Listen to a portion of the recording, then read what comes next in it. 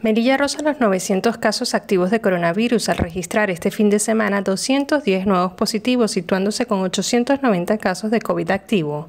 Además de ello, la presión hospitalaria sigue creciendo. Según la Consejería de Salud Pública, 40 personas permanecen ingresadas en el hospital comarcal, de las cuales 5 se encuentran ingresadas en la unidad de cuidados intensivos. Este mismo fin de semana se registró la curación de 13 personas.